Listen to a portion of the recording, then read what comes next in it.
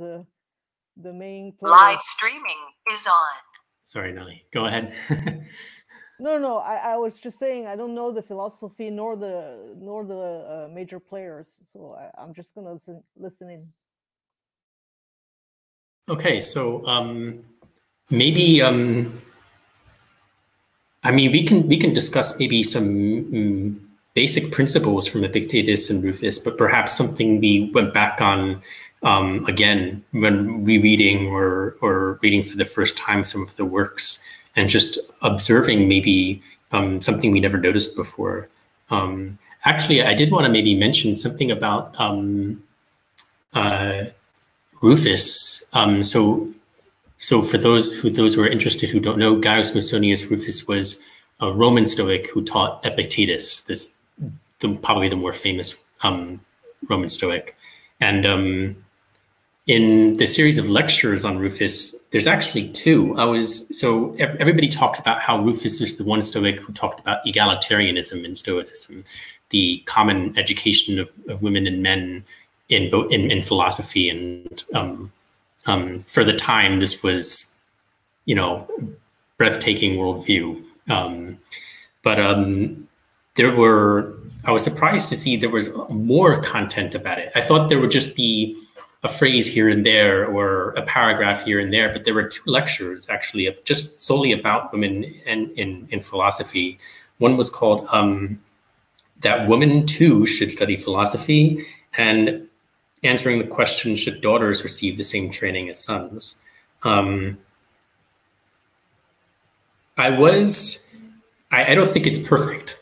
Um, I, and I didn't think it was going to be perfect. Um, that um, he, I mean, he, he does go on to say that um, there's absolutely no reason why women shouldn't be taught and educated in philosophy as men.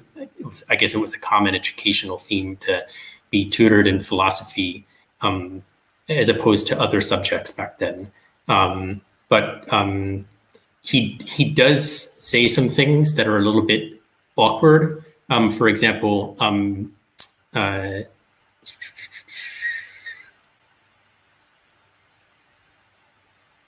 oh, I don't have it written I don't have a copy it down, but it's in lecture three. And while he does say that philosophy would benefit both women, men and women to become virtuous, become courageous, self-disciplined, temperate, um, uh, just, and he goes through those four virtues, he kind of does say that the whole purpose of using those virtues is is in your job, in your role in life. And then he goes on to say how you know, um, the woman's role is is is usually to keep care of the house, to to do this and that, um, and so I think he can't escape the fact that during his day there was kind of this um, conservatism towards women in the labor market. They should only be doing this, but um, uh, and he does say he wouldn't contradict that. He wouldn't um, uh, oppose that standard. Um, but I, I was surprised at the fact that he there was a lot of lecture notes on women in philosophy. Um, actually, a bunch more. Like there was another lecture on kings in philosophy, and two on women in philosophy. Um, so he he talked a lot about like roles, uh, people who have certain roles in society and how they should respond to philosophy. And that that trickles down into Epictetus um, that Epictetus talks about, you know, um, owning your role in philo- owning your, owning your role in society. Um, that you should, um, uh, I guess, what's the better word for it? Um, be virtuous in your own role in society. Um, and I think that comes from Rufus. He talks a, he doesn't specifically say role, but each of his lectures, a lot of his lectures are specifically about one type of person in society.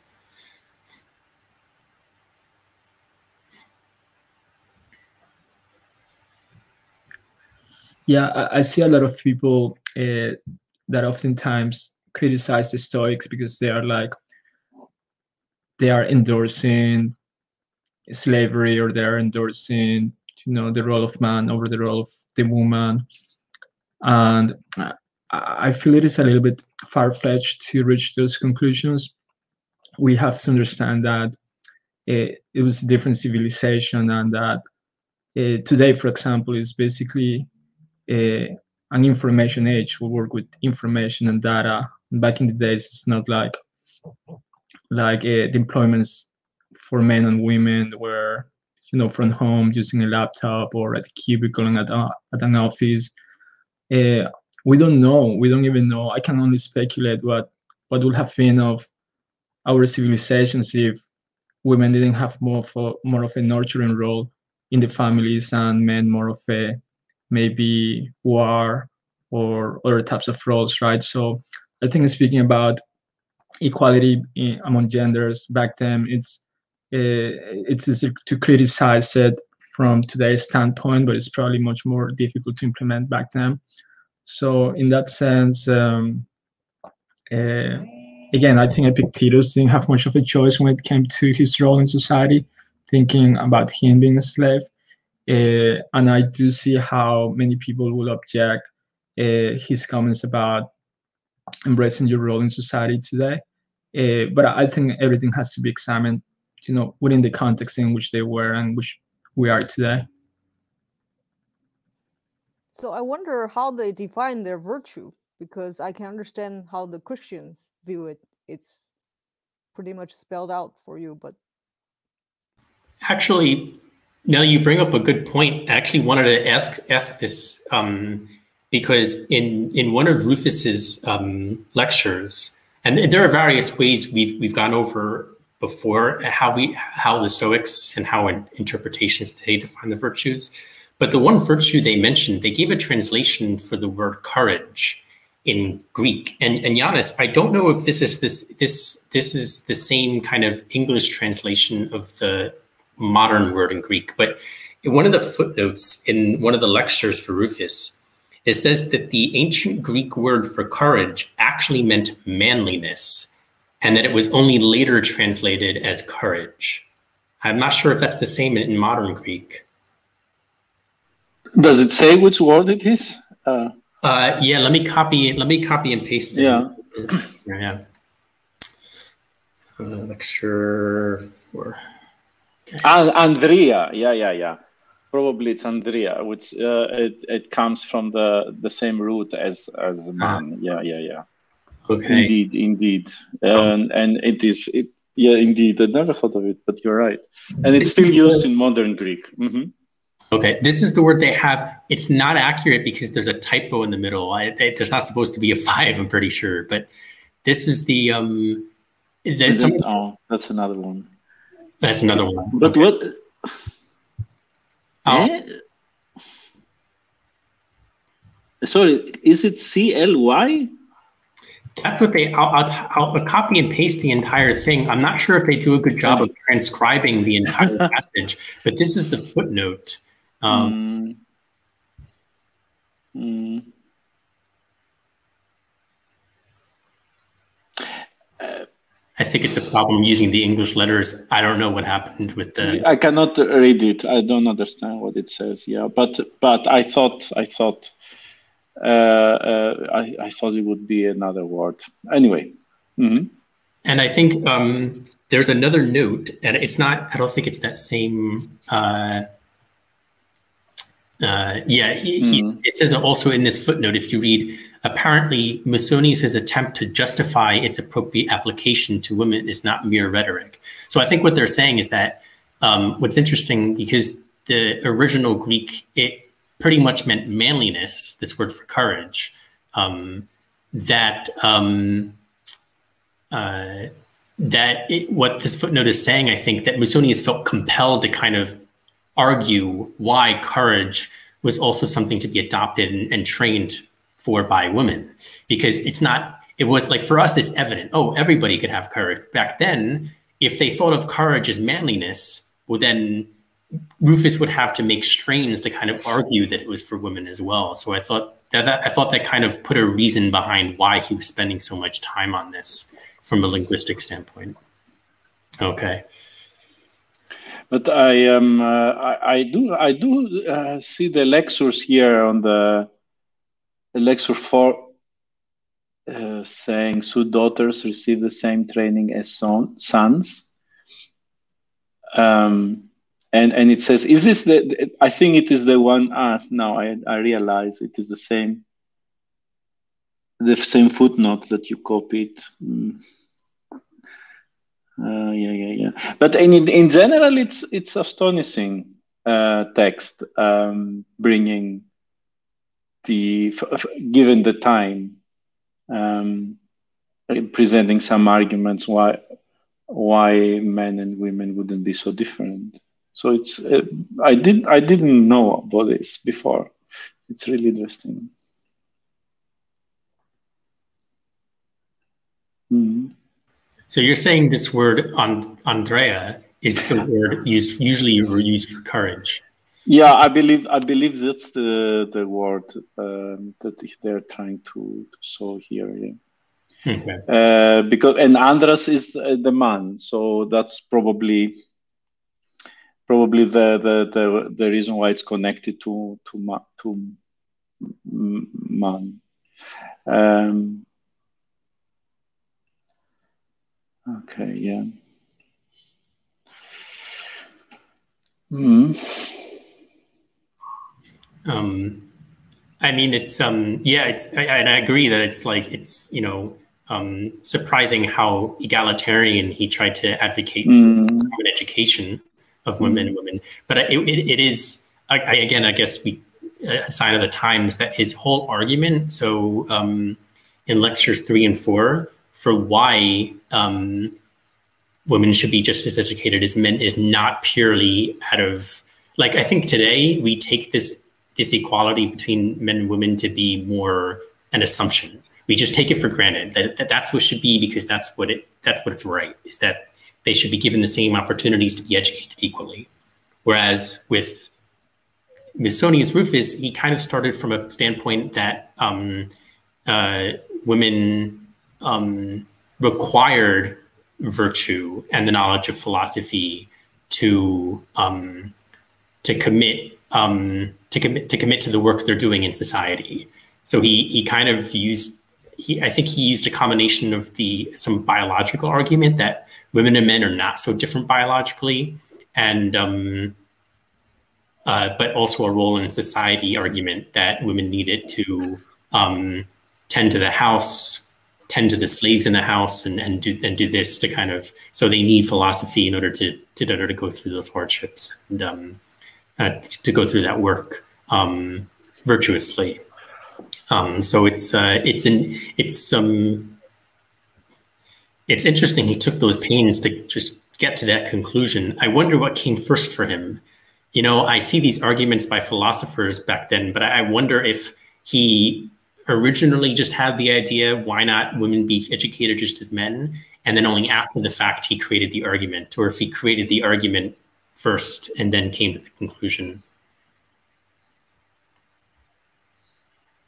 Because it doesn't, the argument doesn't seem straightforward to me, at least for, you know, I don't know, at least for me. Um, I, I wouldn't have guessed to start from where he started.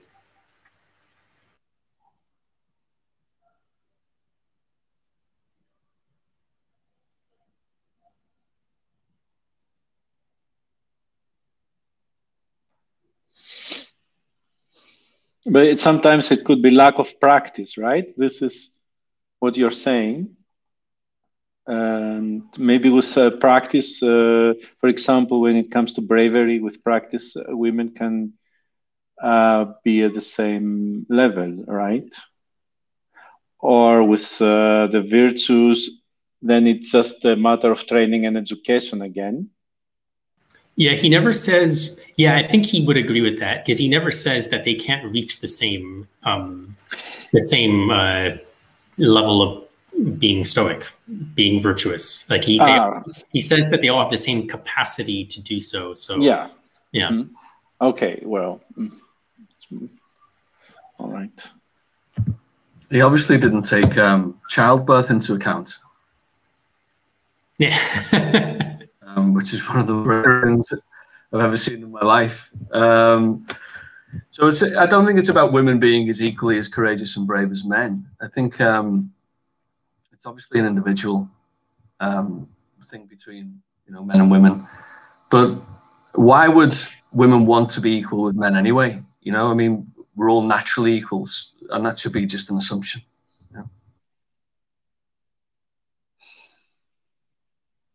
Could you repeat the last part? Your mic goes in and out sometimes. And I didn't hear the last few words. Uh, yeah, sure. I mean, obviously nowadays we assume it's just an assumption that men and women are equal. Um, and for such learned men who, you know, a good few thousand years of philosophy behind them at that point, it surprises me that that wasn't the conclusion that they naturally came to anyway within society, within. Okay. Yeah, yeah, yeah. That's a um, that's a good point. And this, the Stoics kind of actually Greek philosophers in general were really good at coming to to truths or to to kind of vague ideas about how to live good in society without the technology and the and the logic the logical knowledge we have today um, about how to make arguments and come to conclusions rationally. But they seemed to to, um, to kind of build those foundations that we use today, and yet they couldn't come. Is you're right, they couldn't come to that conclusion that. Um, but yeah, I think it's it's more of a product of tradition and custom. I think this is why I think I, I, I think you guys both know, but um, for Nelly, um, Seneca, um, uh, the Roman um, politician under Nero and Roman Stoic, um, talked about how he tried to become vegetarian, and um, the only reason why he he went back to eating meat was because his father would disown him basically if he didn't stop being vegetarian because he didn't want his son to be associated with those with that class of people in society. So I think it's um, I think it's the same thing with women and men. This this the egalitarianism that um, the most most philosophers perhaps had a had a hint that it was um, a valid assumption to make, but that just like vegetarianism for Seneca, they kind of backed out of that argument because it wasn't popular in the day. Maybe maybe for them it was just more um, more suited to fit with the times. And I think that's one major distinction between Stoics and the likes of the Cynics. I think the Cynics wouldn't have been bothered what the prevailing culture said or demanded. You know, Diogenes wouldn't have cared. He would have just said, said it how, how it is. And I think the Stoics obviously cared more about what was happening in the prevailing culture if that was their consideration with regards to gender.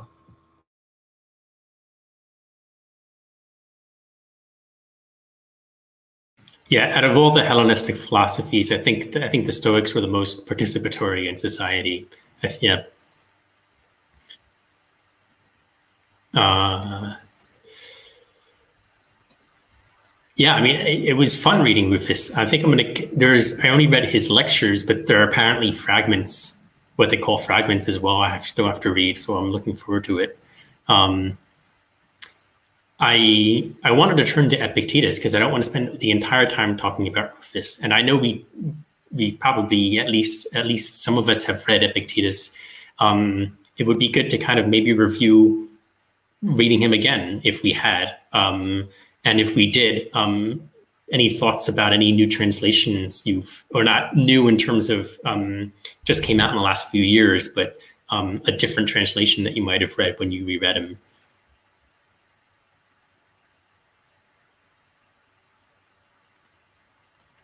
Something I will admit, though, I never, um, I never, I still haven't read. So when I reread Epictetus the other day, I was only reading his handbook or Enchiridion, and I didn't, I still, and uh, this is only my fault, I haven't read his discourses. Um, apparently his discourses are longer. Apparently his Enchiridion is only like, yeah, it's, it's just this compared to the discourses, which is this. And the Enchiridion comes from his discourses. And a lot of times I see passages from Epictetus's um, discourses that I know boil down to something I've read in the Enchiridion. Um, but it's um, I still have to read his discourses because I think there's more to Epictetus in there than what I've already read in the in the simple Enchiridion. Um, but um, I think this this focus on the mind over the body for Epictetus. Um, now to put Alvaro's comment into context, definitely makes sense for Epictetus because most of the famous phrases we have from Epictetus are all about opinions and how we deal with opinions, judgments, and impressions. so now it makes I think reading Rufus and that comment by Alvaro kind of makes more contextual sense for me why Epictetus wrote the way he did. And why he chose to focus on the things that he did. Yeah, I think if you compare him to like Seneca, you know, Seneca tried his best to um, you know, sleep on wooden floors and to feel hardships. Um, obviously, he's a very wealthy man, very high in society. Epictetus was the entire opposite and hardships were just natural to him. It was just part of his DNA, part of his daily life. So I think that set him apart from the other Stoics, even from like some Marcus Aurelius as well. I think he's quite a unique character, Epictetus, basically due to his his um, his life experience early on in his life. Yeah.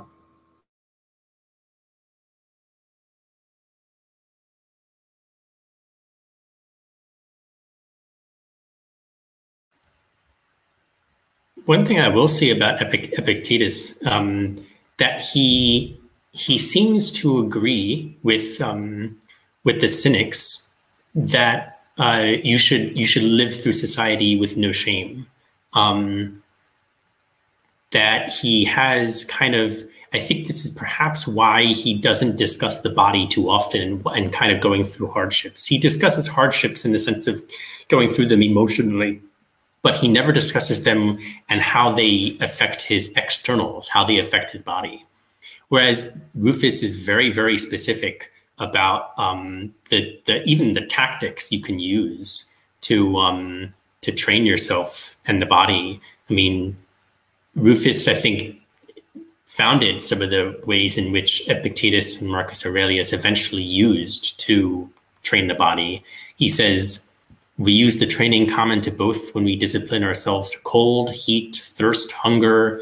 Alvaro was talking about fasting before, um, meager rations, hard beds. So you said sleeping on the floor, avoidance of pleasures, and patience under suffering. So the it's it's interesting all the discomforts that um, that Rufus discusses. He always relates to the body first, and then discusses how they're how they affect the mind.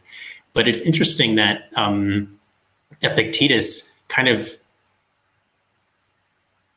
skips the whole part about the body and just discusses how hardships um, and, and shamelessness can train the mind. Um, so I, I, I, found this uh, this uh, chapter in uh, Epictetus, the Enchiridion, that uh, talks about the body, and I found the trans- the English translation on the internet. I don't know if it's the best one, but um, but it, it, it talks about about putting your body in a hardship situation um, to make it uh, to train uh, your actually to put it in a very hard situation not even drinking water or whatever um, uh, but then don't don't talk about it. That i think that's what it, he tries to say here. Um,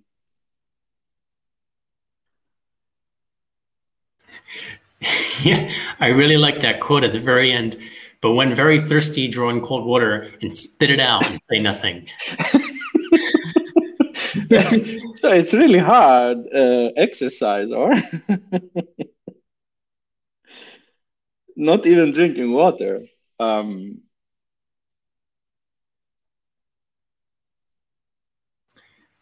but but in general, I think it's the first part. Uh, uh, it's to to to to live um, frugally. I don't know the English word frugally, to be honest. Um, yeah, um, to live. Uh, uh, to do you understand but, it though? Yeah, I see. The, yeah, I understand. I I I see the the. hopefully, it corresponds to the Greek uh, text I have here. Um, so yeah so this goes for for the body and the and the mind i guess so um and so he, he he talks in this in this case he talks about the, the body hmm. yeah uh, but but it, um, uh, not not in a in a sense of physical exercise but in terms of uh, hard, hardship or uh, a challenge to put the body in a challenge or something yeah, he's not. Um, yeah, this doesn't seem like something that you you do. It's something that you you don't do. Like the, right. instead of instead of going through hard instead of uh, doing a discomfort like um, Mhm. going through strenuous exercise or sleeping a hard bed, instead you you don't drink water to feel like what it is to to or to build up your resilience to go through um, thirst or hunger. But probably other other other Stoics were also saying uh, um, like um, try to sleep on the floor and not in a comfort bed or something like that to to to put your yourself in this situation um, of not feeling very comfortable, um, right? Yeah, I think Seneca is the one that really stands out for that because obviously Seneca was very wealthy. I don't think he felt guilty about his wealth, but he, certainly um, sought out discomfort actively. Whereas for Epictetus, it was just a natural part of his day to day life, certainly in his early life anyway. There's major differences between the two. Um, sorry, are you reading from uh, from one of the links in the in the meetup? Uh, yeah, but uh, um, uh, yeah, but I copied the text in uh, in the comments on the chat. Can you see the chat? Yeah, yeah, In- I saw. It's not like you you all three are reading the same text or anything. You you. Uh, no, uh, I Okay, okay. right. I just uh, found a, a quick uh, link on the internet Okay, okay. um, where it has a translation in English. Uh, that, but I don't know if there are better ones. But, but what's the reason for all these uh, these uh, these uh, intentional uh, hardship? It's a yeah, um, and I probably don't have the last word on this. Perhaps perhaps Tony or Giannis has another answer because there's multiple reasons. But I mean, the one the one reason is that um, so the the four Stoic virtues are um, wisdom, which is probably better translated as um, prudence, um, being cautious, or being able to tell right from wrong. Um, then there's courage. Then there's temperance, temperance, which is otherwise translated as self discipline or self control. And lastly, there's just uh, or justice, which is basically the ethical virtue. It's um, how to um, uh, how to treat others fairly um, and how to kind of cooperate and live in society or um, and, and so forth. So there's four virtues, and so it was, it was the two philosophers were mainly talking about. It was Rufus and Epictetus who kind of founded. Um, Seneca did as well, but it was Rufus who kind of put it on. Put it in this firm founding firm foundation that he said you actually have to go out of your way to um, practice what they what we call discomforts these little hardships to help you build um, to build resilience through life Endurance. so, example, to endurance exactly so um, uh, if um, uh, it's it's not to it's not to uh, eradicate emotions against anything. It's simply to it's simply to help yourself understand that in Epictetus's words, roughly, um, there's a difference between things that happen to you and your understanding of things. So um, when you go through hardships, you train your mind to understand that what you're going through um, is not really a hardship. It's um, uh, um, it's only in your mind that it's something that's hard. Um, but in reality, it's something that you can endure. Um, and the fact that you can endure it means that um, uh, it's not as bad as you originally thought. It's not what the Stoics say is an evil. Um, and Rufus says that often. You, you think these hardships are evils, but they're not. So the whole point of the, these hardships, and they could be as small as like um, sleeping on the floor or even taking the stairs when you're not taking the elevator. Like it's as, it can be as small as those where you're kind of just preparing your body and mind to do things the difficult way. So when those times come, you can deal with them more easily. But I'm, I, uh, if Giannis and, and, Tony would like to, yeah. I, I agree. I mean, that's that's obviously the, the, the reason. But but uh, another dimension, maybe in sometimes you you uh, try to deprive yourself from uh, things uh, because sometimes we uh, take them as given and we don't appreciate them. And and then and then you know when you uh, take it out intentionally, uh, then you you understand that this was uh, something you should have been thankful, like uh, like a nice bed to to sleep. It's something that you can uh, lose any time in your life, and then um, you should never take it for given, right? Um, and so you you exercise yourself by by uh, doing it on purpose, so that you can go back and appreciate what you have. You you you you all of you agree on this? Like you think it, it it's necessary to or or you think uh, i mean I, I after hearing this i would rather feel you know i i know how to appreciate without having to go through no? That would be a better way. I mean just personally uh, i i appreciate I, I would say i mean if i if i know how to appreciate my bed without having to sleep on the hard floor i mean wouldn't that be enough or or that's not enough? I think it's enough for you nelly if that works for you. I think it's whatever works on an individual basis. I don't sleep on a hard floor. Me neither. um uh, that's i'm just being honest. I, I get all the hardships i ever need from my wife in life. Um i don't really. But um but yeah, I think it's on an individual basis. I, I, agree with Steve. It could be as something as simple as just jumping up the stairs or walking to the store instead of taking the car. You know, I think it, it just keeps us in touch with reality in a world which is now designed to sort of um, take you away from that reality in whichever way possible. I think it's it's a good grounding, and it's certainly a technique that I use with my son also. Um, so it does have value to it, but uh, my personal opinion is it, it it's all down to the individual. Mm-hmm. If you don't need to sleep on hard floor, Nelly, then don't. Have those okay. lovely, comfortable pillows. Thanks.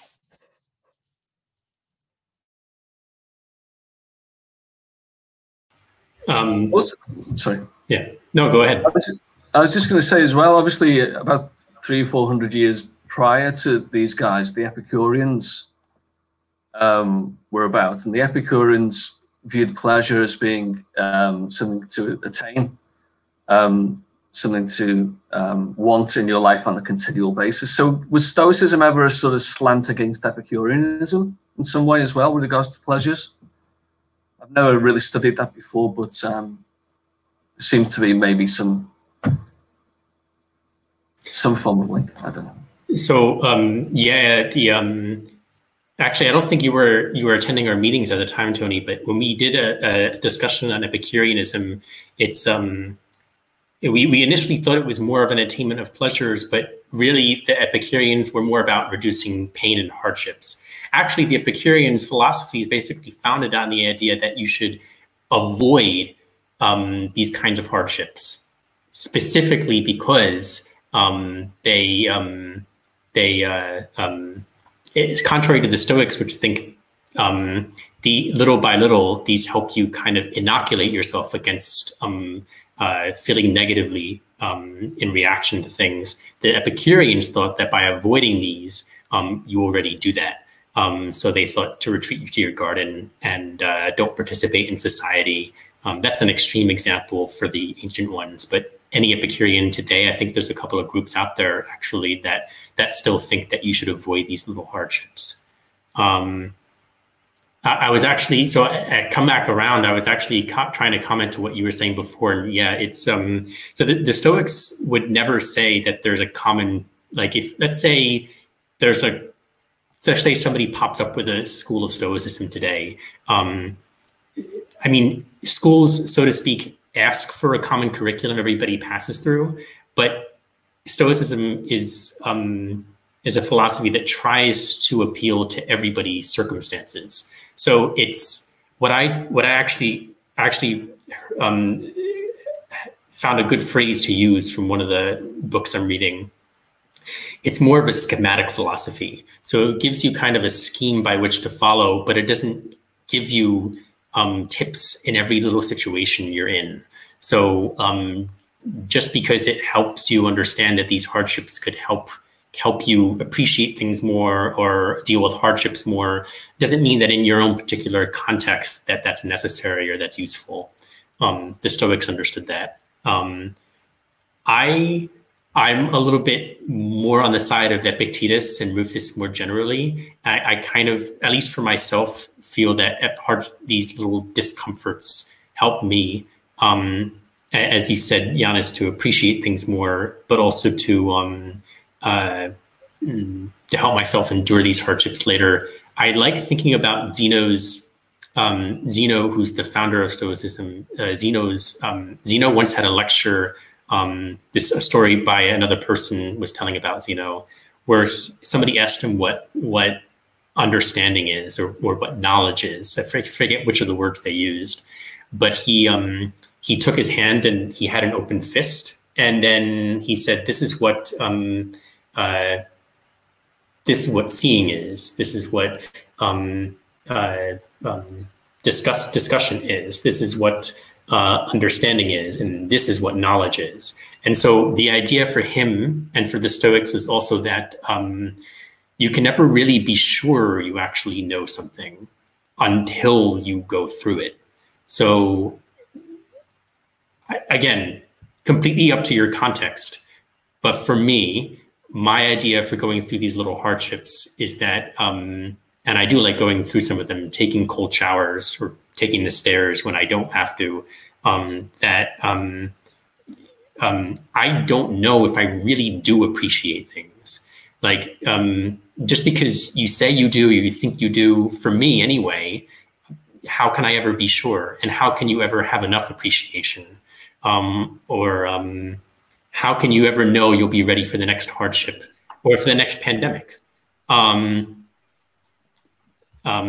not in any way condoning this pandemic is a good thing for humanity or a good lesson, right? That not at all what I'm saying, and the Stoics didn't say that, but they're talking about these little hardships. So, do you do it on practice? Um, I, I take cold showers. I'm beginning to take them more and more. Um, I um, I actually have so I don't sleep on the floor, but I have a um, a really thin uh, futon that's um, well, I'll let my girlfriend tell you how she never wants to sleep in that thing. Um, so it's uh, it's I like it, and actually, I've gotten so used to it that I I actually prefer it over her bed. I it's I actually have a hard time sleeping in very very comfortable Soft, beds. Yeah, yeah. yeah. Um, maybe so maybe there's kind of a disadvantage there. You know, you get used to the hard. but um, yeah but then that, that I guess that proves it's my context, right? I prefer that bed versus the bed you like, but you may your body may prefer that bed. So it's yeah. Yeah, yeah. This, but but cold showers is a little bit harder. Um, hmm. You have you have to begin. Um, actually, I didn't get that from the Stoics. One of my friends um, started getting me into that, and he said the best way to deal with cold showers is don't go cold right at the beginning. Don't mm. you might put your body in shock if you just yeah, start yeah. showering in freezing cold water the first couple of days. So kind of slowly get it slowly build up the how how cold the, the temperature is over time and but um yeah yeah um it's um i don't think i can think of a uh like the stoics the Stoics, I think, were the only Hellenistic philosophy that thought these hardships help you achieve virtue. Um, the Cynics, the Cynics are the only ones I think, but the Cynics didn't think that practicing these virtue, these these hardships are good to achieve virtue. They thought literally living in them were. You know, like the Cynics thought that you should live on the street with a robe and nothing else because that's all you really need. So I think it. I think they're different because they didn't think that hardships were something to practice. They thought hardships were something to live. Um, and the Stoics were a bit more moderate in that in that extent. Again, there seems to be some similarities between um, Christianity. Yeah, yeah, I'm having Stoicism, the, thoughts. Yeah, exactly. You know, and there's a quote from the Bible. You know, foxes have holes and the birds of the air has, have nests, but the Son of Man has nowhere to lay his head. You know, so there's this idea of you know, almost a semi glorification of hardship. Um, I'm not saying that that sort of Epictetus glorifies hardship in any way, but certainly seems to be to be some similarities between the, the Stoic doctrine and um, Christianity.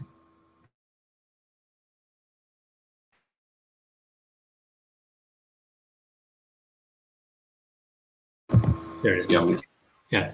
Um, yeah, I and I wish we had found this out uh, uh, uh, maybe the last month when we had that discussion about Christianity and Stoicism. And there is this historical trend that you see some Stoic texts being used and adapted into Christian text and, and theology. Um, but that that is interesting that there's there's little Christian theologians have said about this particular part of Stoicism like they take a lot of the they take some of the theology and they take some of the ethics but i don't hear them specifically talk about taking these discomforts as something to use but you are right. Like especially in um in and i'm, I'm no historian but the the stereotype of medieval christian sex um using um uh mm, what's uh um where they, they um they might hurt themselves in order to you know um uh, what's the word? Um, sin. You know in order to kind of um, um, forgive themselves of sin or to cleanse themselves. Um, self-flagellation I yeah thank you. There yeah. Um, hmm. yeah yeah but the, the, um, that that's one thing. But the other thing is uh, I think in Christianity you have the concept of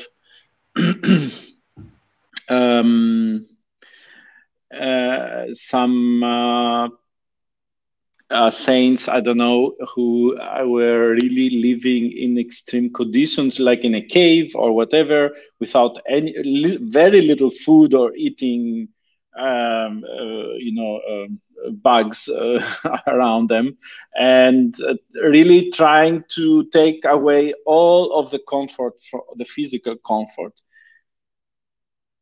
In and, and I think the idea is that this allows your spirit to allows you to, to focus on your spiritual world and to make the spiritual world flourish and and really focus spiritually on what matters and not on on on on anything around you on anything physical. So that you can detach from the physical world as much as possible and focus on the spiritual world and make this flourish right? So that was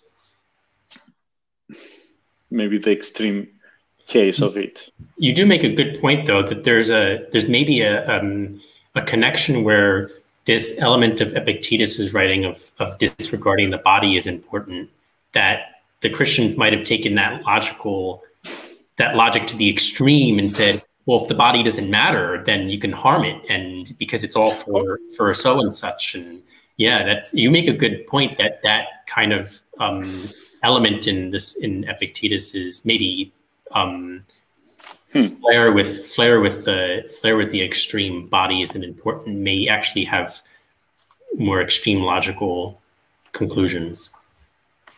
So is this philosophy uh, more more in in how we grow spiritually, or or how we become like just wiser? I mean, gain how? I mean, uh, which way is it? it this this. Yeah, we keep. I think I I don't know if we're confusing you because we keep mentioning Christianity. The only reason we keep mentioning Christianity is because we had a discussion about a month ago, and there's um, this there's no philosophical connection, very little philosophical connection. The um, Christianity is a religion, Stoicism is a philosophy, and the only reason we keep bringing it up is because Christian there's there's evidence that Christian theologians took Stoic phrases and philosophical elements and adapted it into their religion. That that we're just we just had some passing thoughts and compared. Oh, but um, yeah, yeah, but um, uh, so that was just kind of comparative philosophy or comparative but, philosophy to religion. Um, so, yeah. so in a way, so because for me, I, I really don't think you know hardship makes us wiser. that's just my personal opinion. Uh, I think um, if I want to become wiser, I need to be with wiser people. I mean, I I, I I'm a firm believer in uh, gaining energy from people with stronger energy. Um, I don't see myself, you know, uh, perhaps experiencing uh, homelessness will will will, will uh, make me gain uh, wisdom. But I do see myself perhaps uh, reading great works of others helps me so that's why I ask you uh, about this uh, reason for these hardship. I mean, if it's a if there's a spiritual reason, that's a different thing because I'm I'm not religious, nor am I uh, spiritual. But I do want to be, you know, mm, I don't know if virtuous is the right word, but you know, in general, wiser. Uh, well, um, better. yeah, yeah, yeah. Um, I put it in the comments um, Marcus Aurelius's Meditations. Just uh, I would I would recommend that for you because okay. the first book the first book of his um, it's a book but it's really a chapter but the first book of his meditations which is basically a self journal that came out public decades and centuries later um, they're just passages of him giving thanks to the people and friends around him and for the qualities in them that he valued. It's a very stoic thing. Like also something about stoicism, you don't have to take it as a whole. You don't have to take the philosophy and live every element. You don't have to live every hardship and believe in every theological element of stoicism. Part of stoicism is also what Marcus Aurelius did, and he was um, actually the whole first chapter of his meditations is just his listing qualities about his friends and family that he admired and that he want to take he wants to take with him. So and he also recommends that to um to be by those friends who you think you you deem have good character. So hmm.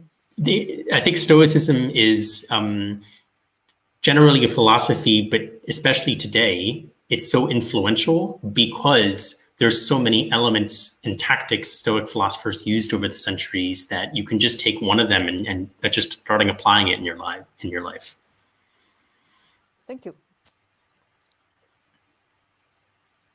Um, actually, I wanted to mention something you um, uh, um, just as a note, virtue for the Stoics, for the um, for the Greeks, actually, um, literally translates to excellence of character. So it, uh, or, or, excellence. So it has very little meaning compared to what we think of virtue today. Um, virtue for them meant being of excellent character. That's all it meant. So um, you don't have to take it as a as a righteous thing. Um, yeah, I think it's but lesson learned for us. Maybe um, uh, maybe when we know we have new members coming on, we don't talk so much about um, uh, relationships with Christianity or religion if we have if we don't have to, because perhaps people get the wrong idea. I think when Tony mentioned the self the self um, um, flagellation that uh, uh um, uh, that it uh, might be off putting to some people. I don't know why. I think with regards to wisdom, though, as well, I think the Stoics are quite clear that experience imbues wisdom also. You know, as Seneca quotes that um, no man was wise by chance. I think it's because you experience things too, and you have to experience things in order to really taste um, the result of that, which usually is wisdom in some way, shape, or form um, particularly if we learn by our mistakes. I think if someone just talks about being wise, um, then it's more difficult to sort of become a wise person just by sort of um, osmosis, if you like. Um, I don't think there's any substitute for experience and experiencing hardships, even if you don't deserve to experience them, if they just happen to you. But when you come out the other side and you feel that wisdom, I think that's earned wisdom is better than something that's just read.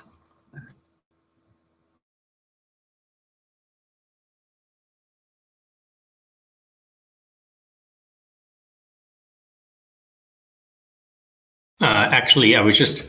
That's fantastic that you mentioned that. I, it makes me think of a quote by um, in one of Rufus's um, lectures, um, and I'm trying to find it. I think this is it right here.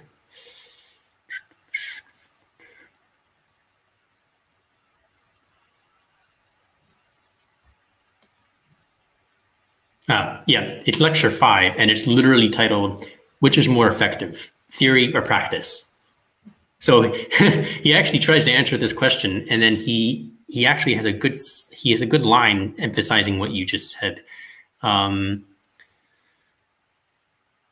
yeah, actually, it's the it's the concluding line. He says that theory which teaches how one should act is related to application in the um, posted in the chat. Theory which teaches how one should act is related to application and comes first, since it's not possible to do anything really well unless its practical execution is in harmony with theory. And he says in effectiveness, however, practice takes precedence over theory as being more influential in leading men to action. So yeah, I think that's exactly what Tony was saying, that it's a um, very good point that Rufus also mentions that um, Something I think Epictetus also he he seems to um, unbalance in, in, in his discourses and um, takes press takes preference over practice rather than theory. But Rufus tries to explain that you need theory first, um, which I think is interesting, and then put that theory into practice uh, as being the only way in which you can really be sure you you know it. I completely agree.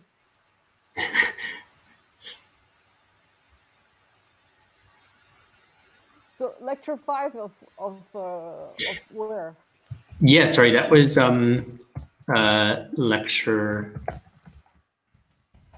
five of and this Stoic author Musonius Rufus. If you want, so um, I think there are some um, good. Uh, yeah, thank you, Giannis. Giannis. Giannis put a nice uh, website. So that's the link to the um, to this specific lecture. But the website in general basically has free versions of a bunch of Stoic and other Roman and Greek translations into English for free because they're all in the public domain. So if you want to read any any of them, you can you can go there. Um, I'm not sure some of the translations because in their public domain are like a 90 to 100 years old. So um, maybe 70 to 80, but so they may use some weird English, but they're definitely understandable. Thank you.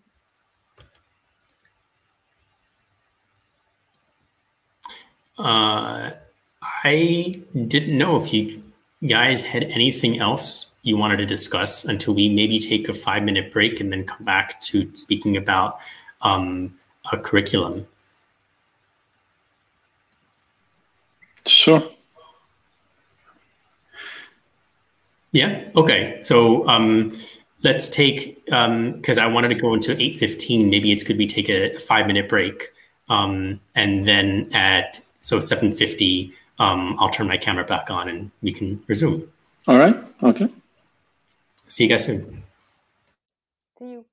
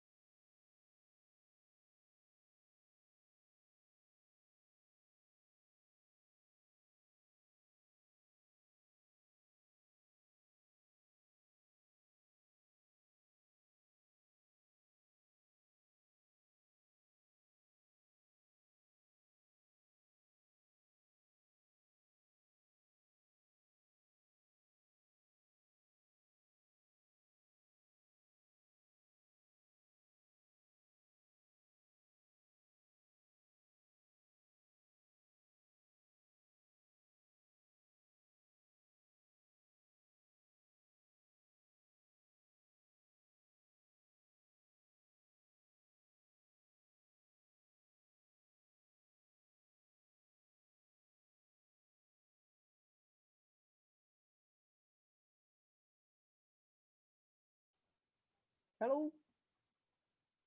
Hi, Nelly. hey.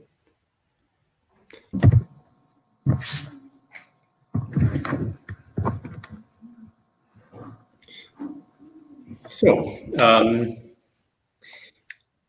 this next part, um, as I explained in the event details, I wanted to shift away because I didn't want this whole um, meetup to be for too long, and I also wanted a way to fit in both both parts. So um, I wanted to transition now away from Epictetus and Musonius Rufus, and um, this is less about discussing theory or discussing the philosophy or discussing um, uh, how to apply um, certain of the philosophers' ideas in the real world, but instead to um, because there haven't been many. There have been maybe three or four in the Berlin Stoics over the course of the last few months who maybe mentioned that doing something together or being a part of a curriculum or being a part of Stoic training um, would be interesting, and that would they would be interested in participating in.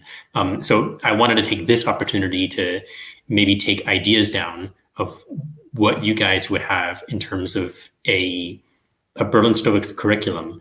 Maybe not something like, um, and I got the idea from, I got a particular idea about how to maybe do something like that when I was, um, there's another Stoic group in Berlin. Um, it's a lot smaller. It's, um, it's called the, uh, I think it's called the Guide to the Good Life um, or something like that, the Guide to the Stoic Good Life.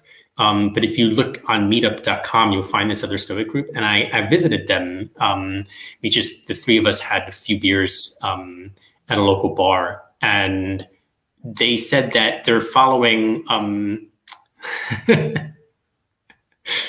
um, they're following Massimo Pigliucci's uh, 52. Um, Massimo Pigliucci basically rewrote Epictetus' Enchiridion, and he put it into a book of 52 Stoic tips of how to live a good life. And it's meant for a full year. It's meant for 52 weeks. And every week you, you basically try and implement one of those 52 tips. But they have a buddy system. So what these two other guys do is they um, basically try and focus on uh, practicing one Stoic exercise every week.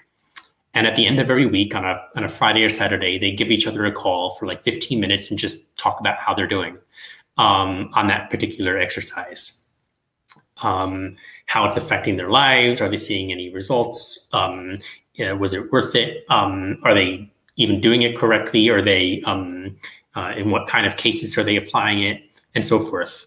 Um, that wouldn't be the end all be all of the curriculum, but I was just, that kind of got my head rolling. What if some of us on a voluntary basis started doing that? So um, we wouldn't start doing that now, but we would kind of think about a plan of how to really implement that. Um, what details will we follow the same book they use of 52 exercises?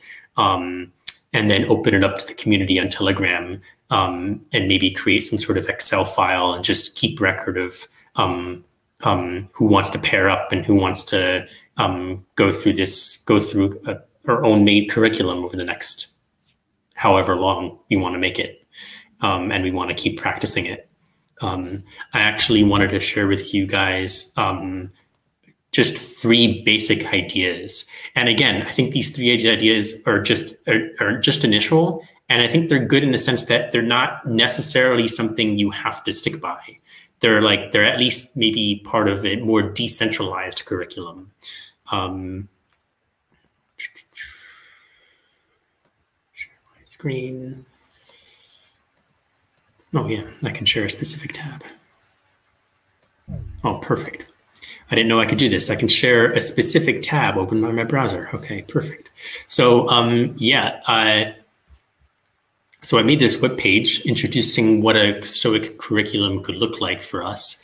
Uh, and I, it, it first gives I gave I give three examples of what something what three elements could be as part of our Stoic curriculum and Stoic training.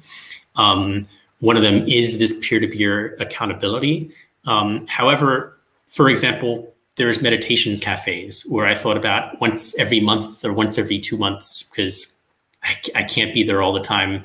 um, open up, uh, rent a space, a small space for one night every, one evening every month and open it up to a joint meditations cafe where we all journal um, uh, um, and um, whether or not we want to share, um, create a safe space where we can all meditate through journaling um, uh, in the Stoic way. So using negative visualization, using um, ideal examples in life that we can follow, contemplating the sage, um, giving ourselves consolations, um, or uh, for example, um, uh, reflecting on discomforts that we've been practicing in journal form.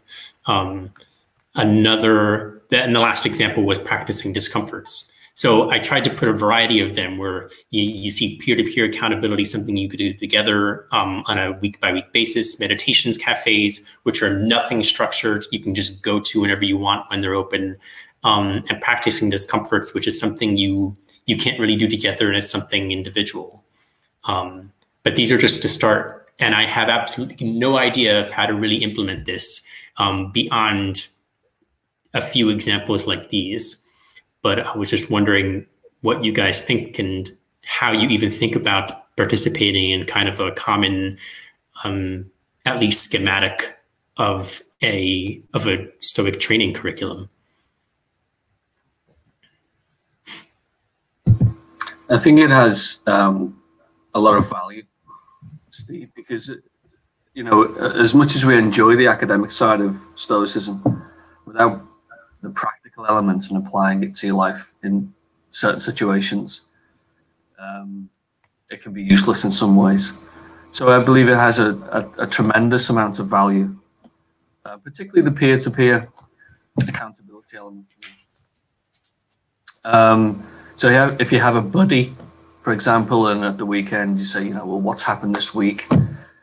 Um, well, you know, we discussed the dichotomy of control, so we I really used that this week, and it really helped me to get rid of 95% of my worries this week. And that's a, a potential discussion. I think the practical element of Stoicism is absolutely vital that we participate in as a forum and as a community. It's a good point also you make that I put, um, so I do mention they're following these these specific 52 exercises that Massimo Pigliucci recommends in his book. But we don't even have to do that. Like you said, like it could be it could be week to week where every week the two partners decide on what to focus on that week um, and then come out on the other side discussing how it went. Um, for example, the dichotomy of control. Um, for Nelly, the dichotomy of control is a shorthand way that philosophers have have have have named the the, the Stoic practice of understanding the difference between what you can control and what you can't control. So what's within your control, what's without your control, and obviously what's what are what are some things that you can influence but not completely control. Um, yeah, it's a really good um, it's a really good example. Actually, the the meetup I went to with these two guys who do this, uh, the whole the whole meetup they wanted to talk about the dichotomy of control, um, and the entire discussion went really well. And actually, I thought that this could this could be really useful in the in the real world. Um, and I don't. I also want to mention. I think maybe accountability is too strong of a word. I didn't want to. I didn't know of any other word to use. Um, they were talking about how um, uh, there were one or two weeks when one of them fell behind. Um, but the whole idea of having a partner to discuss this with every week kind of motivates them to get back on track. So one one of them said they fell back one or two weeks worth of exercises, but after the first or second week, they said, "Oh man, I'm going to go to this. I'm going to I'm going to call my friend, and he's going to say." Um, he's going to talk about how it went for him and i'm not going to have anything to say so it kind of motivated him to kind of get back into the habit of, of practicing um, and that kind of uh, that really hit at home what i wanted was not not accountability in the sense that you'll be punished or that there's you know somebody's watching over you but in the sense of kind of motivating each other to get to get on track and practicing these exercises week to week. Um, yeah, it could. I, I, think. I think maybe in the direction of um, starting this peer to peer system, but never the that's the schematic, and then the curriculum would never impose um, specifically the exercises that you do. Actually, I think that would be much more creative. Um, the uh, for example, a couple, two peers could want more um, gratitude in their life.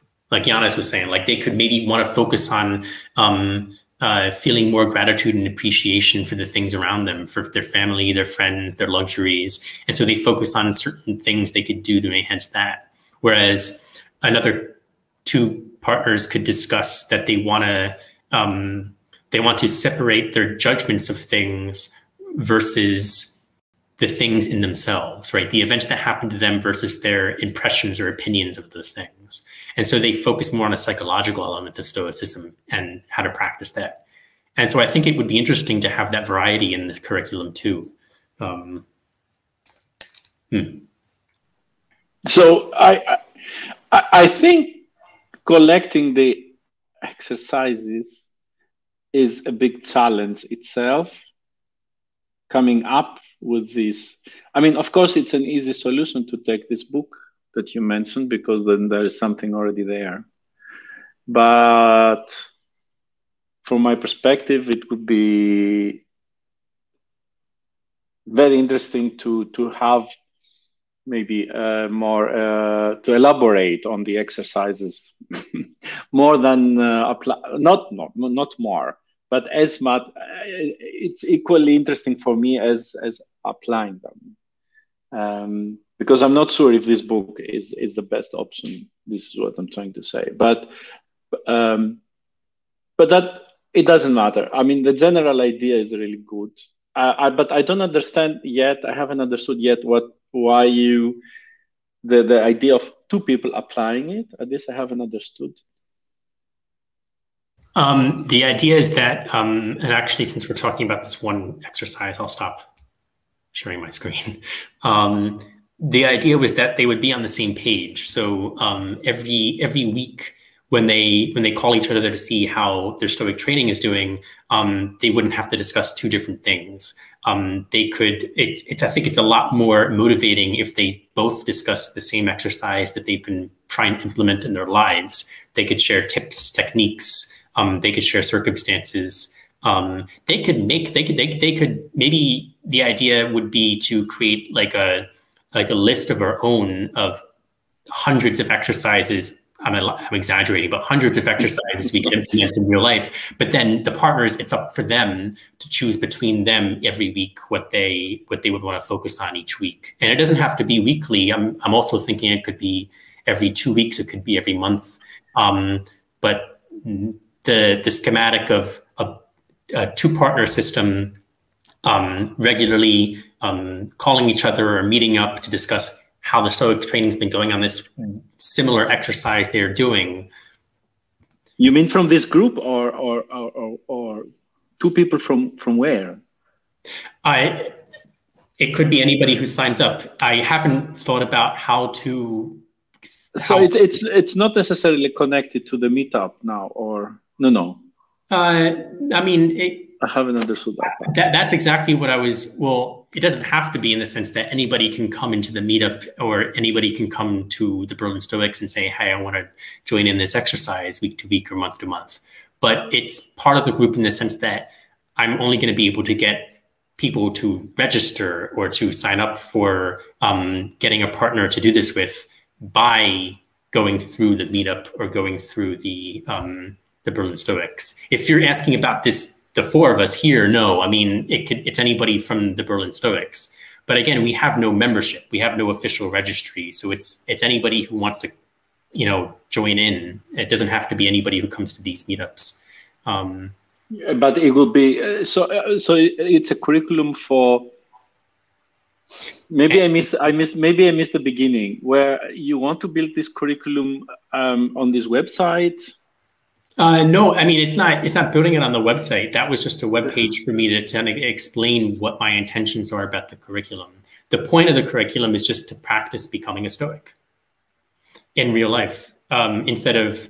I, I, really like these discussions, but um, I think um, there's an element missing from a Stoic group, and that is literally putting it into practice. I know we all do to some to some extent. Like some of us think about the ways in which we've sometimes put some of these points into practice, but there's a kind of a community element where um, you know we come to these discussions and we say, "Hey, yeah, I thought about this the other day," or "I was doing this the other day," but um, there's uh, there's not really an active element of this. I agree with, but, but so so so how to make it how how you want to make it practical is by building these, for example, these uh, three pillars. One of it is some exercises. But how how do people engage on this? It's by by by uh, coming to you and and saying, "Hey, this is interesting. I want to participate." Or or, or um, if you're asking how people get into it, um, I I absolutely have no idea at this moment. I was thinking about because um, um, that was I have two questions about that actually. Um, one, uh, do I start advertising on on the meetup page and in our Telegram chat if you want to sign up um, and talk with a partner, use this form, and um, it would randomly appoint you with a with a partner who you can share numbers with, and you can start discussing how to um, um, do this every week or every month, mm-hmm. and call each other and discuss how they want to train in Stoicism. Um, the, my other question was, um, uh, I don't want to make it seem like we all have to begin at the same time. I want this curriculum to be in such a way that anybody can join at any time. You know, if we start today, if if Tony and I start um, meeting every week from from today. But then five months down the road, you and Nelly want to start doing this, then that should be possible without anybody telling you there's a specific start date. So that that's also the intention is that it's mm-hmm. supposed to be where anybody can jump in and start anytime there's Stoic training. So I don't want this to be a school. I just want this to be a guide. When I, when I say curriculum, I just mean Stoic training and how to do that with another material person. and ideas. You know, and yeah, it has to be practical and in the community. I think it's more just about apply, uh, applying some structure to the practical side of Stoicism, um, a framework that you can work to if you, if you wish.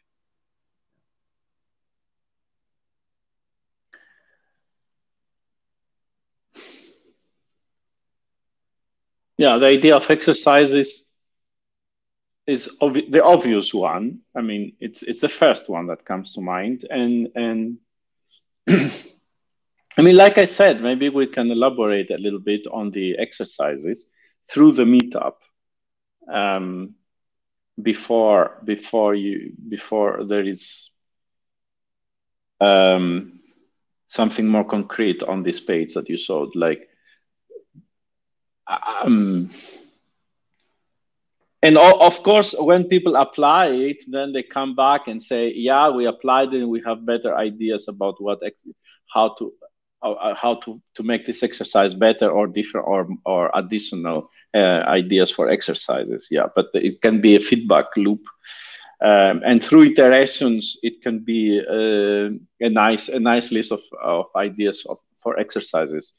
Um, and then and then i guess you can collect this somewhere, right? Like, um, that's also the idea is to have like a um, uh, Wix is kind of a terrible. Um, it's it's it's okay, but there are some things you can't do on Wix. I, I wish we could. There is um, there is a way in which I can create a table on on one of Wix's web pages, and maybe I can. The idea is I want to get people who are who can sign into the web website to be able to um, um, change the table, to be able to input in it, to write comments in it, so that it's like a living compendium right. Right. Of, right. of comments and techniques to be trained as Stoic. That's the idea, is that it's living and it's ever growing. Um, yeah, I have to create that, but that's the idea. It sounds good to me. Um, I mean the the meditations cafes I was thinking about are something that that you know does, doesn't have to be um, necessarily decided amongst peers. I can just I can see who's interested and open them up every month.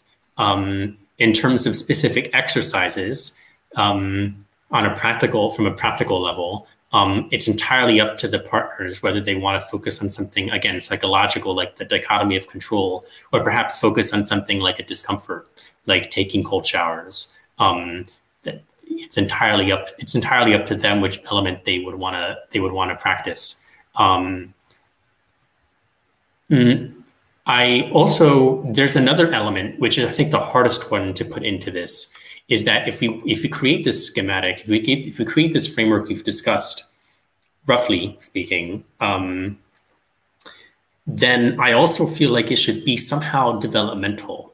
Like we should, um, not that we reach an endpoint. I think this the idea of this curriculum is that you can theoretically go on forever doing this, but um, if you really want, um, the idea is also that um, somehow all of us feel like we're um, um, like we're we're passing a point of there should be stages. There should be stages, or there should be some developmental element in the curriculum where you're you're visibly making progress um, in in practicing virtue and practicing stoicism. I am not sure how that's supposed to be implemented. Um, but that was my other that's the hardest element in the curriculum that i haven't quite nailed down how to do because if every peer-to-peer um, partnership um, kind of goes in their own way which exercises to do every week or every month then it's kind of hard where every everybody in the Berlin Stoics is on the same page. Um, so I'm not sure if that's even possible. This kind of everybody, yeah. Hmm. That's I, I, think that would be very difficult to objectively quantify and measure. Yeah. Uh, personally, I, I, I, wouldn't even try. Um, but I, I, think the, the personal achievement would be realized by the actual individuals themselves. Hmm. Maybe that can be shared through feedback or through forum. Hmm. Yeah, but I mean, there can be like um, uh, easier exercises and more difficult exercises, or, or like or exercises on easier concepts and exercises on harder concepts. Could that be uh, uh, in terms of uh, levels? I would personally sorry steve i would just personally question whether that was whether it was even required. Yeah i don't know. Um, yeah. I think that's I think that's maybe actually to to to bounce off of both of you. I like the idea of levels, but because I'm unsure of if there are any, and if there are, how to how to attribute them to the exercises. Maybe that's best for the feedback. So maybe in the in the in the in the list of exercises we collectively create over time, there's like we create a column about if you think on a range of difficulty uh, of really mastering what is it for this specific exercise and then over time to see if there's a, an average an averaging on uh, uh, from everybody of this particular exercise is this on average more difficult than others or not? Mm. but that's i wouldn't put it in a i put i wouldn't i wouldn't put it on different levels in the sense that people on level one can't practice things on level two just in the sense that things are more difficult than others. Maybe. Yeah, sure, sure, yeah, sure. That, that's what I, that's how I meant it as well. Oh, okay. Um, um, like what uh, um, Rufus says uh, to, to to keep the water in the mouth but not spit it, and to spit it, don't drink it. it's, it's, it's the the last step. the last step. Uh, just um, Nelly too. I think this would be very useful, Nelly, to learn more about the practical side of Stoicism. Um, yeah, sure. Certainly, you know, these practical exercises are the things that really help you on a day-to-day basis. If you're experiencing any form of difficulty, um, if you if it's difficult to find answers in some way to, to issues that we experience, these type of exercises can genuinely help. Um, so the practical side of things is extremely important, and I would really encourage you to to get involved. Thank you. But I I think uh, the peer to peer it would be it would be a it would be uh, unfair to, to, to my peer, I think, to have me as a peer. So uh, I think the peer-to-peer would not work very well with uh, with uh, with beginners. It, it would really be open for everybody. I mean, you don't have to have read a lot about Stoicism to. I,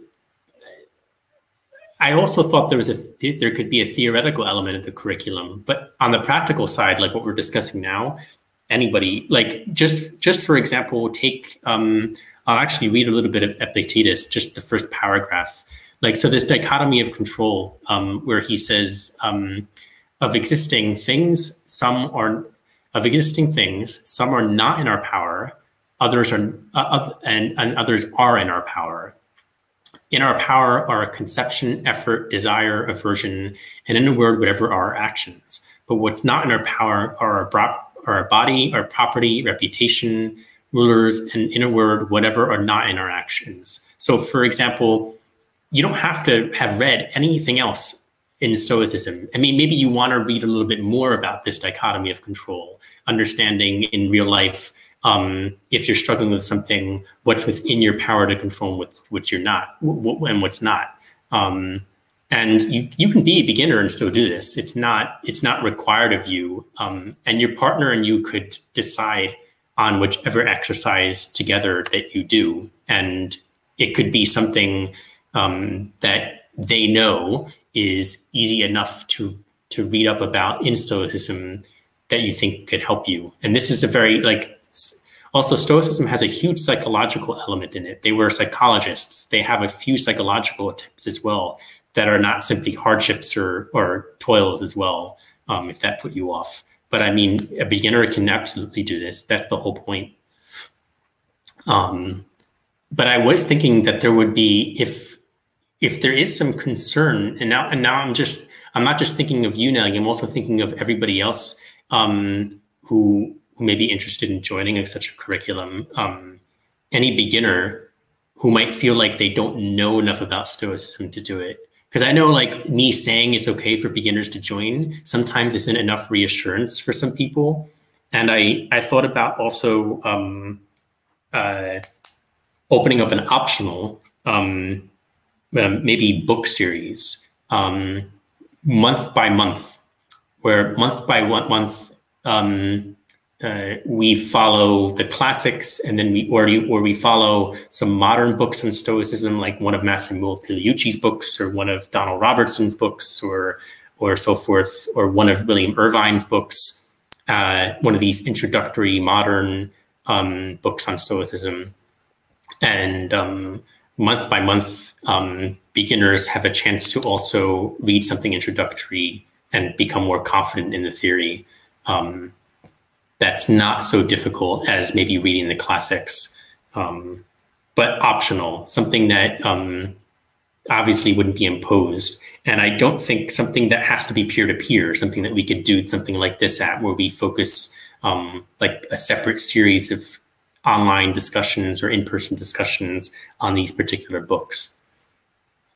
Yeah, I, I'll be interested in the book, to be honest. Uh, okay. and uh, and as a, as it's just me, my personal preference probably at this stage is to observe rather than participate. Uh, so like today, I learned a lot. I feel like I I benefited a lot from all of you. Um, so I think that's how beginners will feel in in your curriculum. It's like we probably wouldn't be able to contribute, but but because of the members in the group, we um, uh, we, we we if I if I had uh, started this alone, it would be a lot more difficult than your curriculum for sure. And we appreciate you too, Nelly. Because you bring some interesting viewpoints today. So thank you. That's nice to say. thank you. I know I didn't bring any, but thank you. No, you did. you did really, and it's um, yeah, you did. It's uh, yeah. Well, thanks. It's also it's also helpful for us. I mean, the more the more we explain, the more we feel more confident in what we know about Stoicism. Like when I when I was discussing what um, the whole reason for the Stoics talking about hardships and discomforts, and then Giannis brings up this entirely other dimension why they do them. And that's I wasn't thinking of that at the very moment. And so it's helpful for us to also think about these things. Um, but yeah, that's good to know that maybe beginners would like more of an introductory book series, um, uh, something low key that they could get used to the ideas of Stoicism before they. I won't begin that until August because we have three or four meetups before already over the next week and a half before I go on vacation for two weeks. So in August is when I'll probably start that book series. And I wanted to start it at that month because, well, I wanted the next month for people to start reading the book. So, um, but um, actually, that's another question. Um, I, I, I, I, bought like five or six new um, introduction to Stoicism books. Um, and I've been reading across them over the last couple of weeks. And I was wondering if, especially especially because I know Giannis and, and Tony, you've read some introductory books on this. If there's a preference, what you would what would you recommend to a beginner, someone who's never read anything about Stoicism, who doesn't want to read the classics? What's like an introductory book you would say, read this, perfect to introduce yourself to Stoicism? Personally, I, I like um, Donald Robertson's style of writing. Um, so he has obviously there's a number of introductory books by him. Um, one on the meditations, which is very interesting. Um, but I think his writing style is is is very sort of um, all inclusive. It's not too academic, and it's also very practical as well. So I would encourage um, you to consider Donald Robertson above all the others, really. I mean, you have Ryan Holiday as well, um, sort of on the modern Stoic side. I'm not a big fan, to be honest. Mm. I, I, guess I agree with Tony. I think I think he's he's he's good, uh, but personally, and I'm so that I'm not the right person to ask this question because personally, the best introductory book I have read, and I go back to it uh, to understand Stoicism, is uh, it's not it's it's this one from uh, yeah you know uh, from. Um, Hadot. I don't know how to pronounce with his friend. So um, the inner the inner citadel, because he he he, but he's a little bit more academic, but not too much. Uh, and I think he does excellent job in analyzing the values and the principles of um, uh, Stoicism. Uh, but he's more focused on Marcus Aurelius. So he's analyzing the the meditations. Um, but for my side, I haven't found a better and more insightful analysis of the of Marcus Aurelius.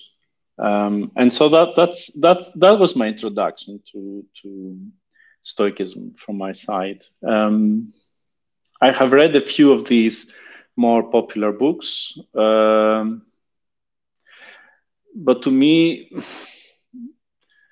I don't know. They're they're uh, sometimes a bit simplistic, or not to say it differently. They don't connect. Uh, that I um, they don't connect to the original text directly, and and I'm missing that. I like to read to read also the original um, uh, text to understand how it was phrased, and then see the interpretation or something. But but these these um, books that you mentioned are more forget what has been said. Uh, I will tell you the story from the beginning uh, in my way, and and this doesn't work uh, for me so well.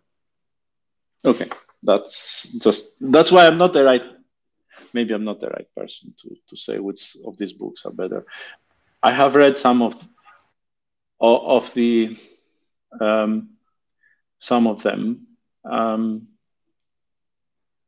uh, I think Tony. I think what Tony said. I would. I would uh, uh, put a plus one. Um, Actually, I should read. Um, I should read Donald Robertson. I haven't. I've read the the other the the introductory uh, books on Stoicism, like the more popular books. I've only I've only recently read are um, uh, William Irvine, um, uh, who actually I think does a better job. So I've also been reading Massimo Pigliucci, um, How to Be a Stoic. Um, it's okay. Massimo Pigliucci's book is a bit too simplistic. So in that regard, yeah, I wouldn't. Uh, I would recommend him if somebody prefers that. But I actually prefer William B. Irvine. He does a bit better of a job. Um, uh, it, there are different elements in Pigliucci's work, but Irvine to me is a bit more classic and interesting to read. But he doesn't he doesn't quote the Stoics as much as Pigliucci does, but it's less simplistic. I can't explain it. He also adds to it, like he adds to Stoicism. Like it was it was William Irvine who popularized the idea of the trichotomy of control. So he in his chapter he he expanded on how there isn't just two dimensions, things that are within your power and not in your power. And then he he he understood it as no, there are things you can influence partly but not fully control. So he does add some flavor to Stoicism as well. Actually, one book I would recommend, um, which is not too simplistic, and at this, it's it's more academic. At the same time that it's um, uh, um, it's also a really good introduction. It's dense, but not academic in the sense that you have to have known about Stoicism beforehand. Um, it's called um, I'm in the middle of reading it right now, a, a New Stoicism by Lawrence Becker, um, which you guys have probably heard of. It's um, uh, he wrote this. This is the revised edition from 2017, and he revised it about 20 years after he initially wrote it. And um, his idea was not just to summarize Stoicism, but also also to reinterpret it in a modern context. Um, and he does a really, really good job. It's it's dense though. What I like about it is that like Massimo Pigliucci and William Irvine and, and Donald Robertson, they focus a lot on the psychological and the ethical dimensions of Stoicism. Lawrence Becker has fat chapters on the theology and on the logic of Stoicism in addition to the ethics. So I think if you want a more whole approach of the philosophy, um, maybe one of those introductory books aren't aren't the best. Um, yeah, I think it's I think it's where you want the emphasis. Um, uh, I'm not too sure how to start the book series, but I'll think it over um, and I'll use you guys' um, suggestions. Um, I'll also put some suggestions online. I think we'll we'll create like a, like a list, just like um, we were doing with the exercises of recommended books and um, uh, to read. Um, I have that actually Excel file you'll find on the resources page on our website of a bunch of articles and some books you can read on Stoicism. But um, I think a shorter list of modern books in Stoicism is called for for people anybody wanting to introduce themselves. And then just to just to just to maybe stop uh, my um, my spiel with this one book I I just ordered but I haven't got into yet. Um, but I'm really, really interested in doing. It's called um, the Practicing Stoic. Have you heard of it, Giannis? Um, it's a, uh, it's it's really interesting. What he what, what he does is um, mm. he reviews Stoicism, but all he does is quote the original Stoics. But the way he does it is that let's say he like he has a chapter on judgment, the and what he does is he takes all these quotes, all these passages from Epictetus, from yeah. Schopenhauer, from Cicero, from Seneca, that all have to do with judgment, and then puts it into context with each other. So it's really, really, um, I'm really interested in getting into this because that that's that would be really interesting to see like passages of Marcus Aurelius and Epictetus that are separately about the same thing come together. Hmm. Yeah, exactly. I have it. I have it in my list to to buy this book, and it's exactly the style that I was trying to say. It's it's uh, more preferable to me this style. Hmm. Um, so I think I think I should. Uh, good that you mentioned it. I, you reminded me that I wanted to buy this book as well. And it, it's good that he's quoting people like Cicero, you know, authors outside of the big three Stoics. I think that's important as well, just to provide some wider context. Um, because I know for a fact that Robertson tends to concentrate a lot on, you know, Seneca, Epictetus, and Marcus Aurelius. But we do have all these other characters involved in the story. And whether they helped to form Stoicism in some way or influenced it, I think that's just as important. He also quotes more modern philosophers. He quotes Montaigne, Schopenhauer. He, he uh, just flipping on a random page. He quotes Plutarch, another ancient philosopher, but and and and uh, uh, uh, a writer, but not a Stoic. So he he quotes from these other non completely non-stoic even non-stoic affiliated characters. And it's really interesting to see like oh he even quotes adam smith. And so yeah he he takes like these um maybe stoic influences on future writers and what they have to say about the same principle in stoicism. Wasn't adam smith an anti-stoic i actually don't know i only know him for his economics for his um uh he was a I think he was a, a, a vocal anti-Stoic. I may be wrong.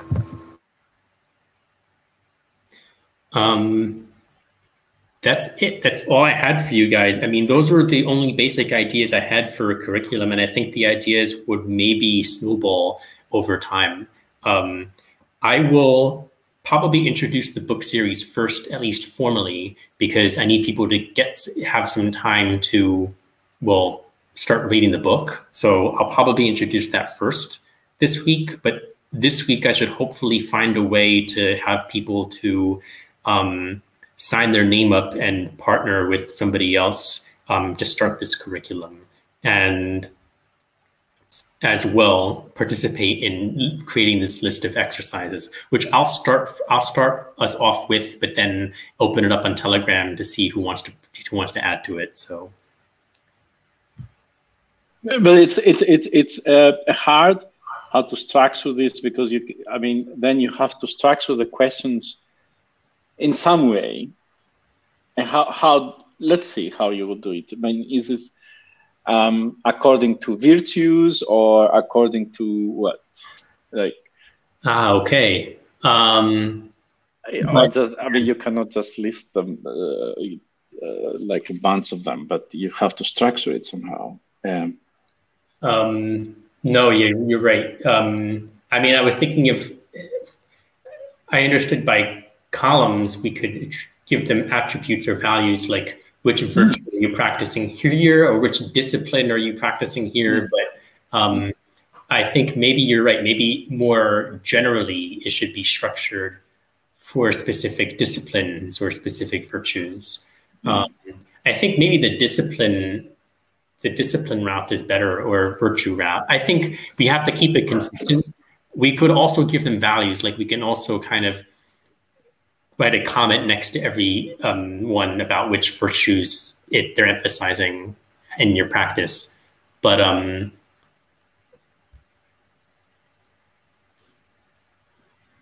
maybe I create two. so I have to think about this. Um, it's it's hard, yeah. yeah, yeah, yeah. Uh, personally, I just think simplicity is key. What is, you said? S simplicity. What simplest? I didn't, I didn't, I didn't hear the first part. Yeah, I just think simplicity is the key. Oh, okay, okay. Keep it, keep it simple. Yeah. Yeah. yeah keep it simple, stupid. Yeah. Yeah. Yeah. yeah no, I'm not going to create. I'm not going to create. Yeah, I mean, you can divide it by pi if you want, but you know, I think you lose people yeah. on the way. Does this does this thing not work properly or? It has on and off, uh, like up and down. Uh, oh, okay. Yeah, yeah, that's why sometimes your volume goes uh, goes away and sometimes it comes back. So that's all. Uh, so um, Okay. I have to go, but um, it's been a pleasure, everybody, and um, thank you for joining us for for the discussion about Epictetus. Thank you guys for really staying about curriculum because I wanted to open up to everybody, but have some feedback first from people. And Nelly, thank you very much for joining with us and being so patient. You've you've asked great questions. You've you thank you for your input. Thank you all for sharing with me. Thank you. Thank you, Good Nelly. night. Good night. Au revoir. Thank you all. Bye bye. Bye-bye. Good to you guys. See you later, guys. Have a great week. You too. Bye.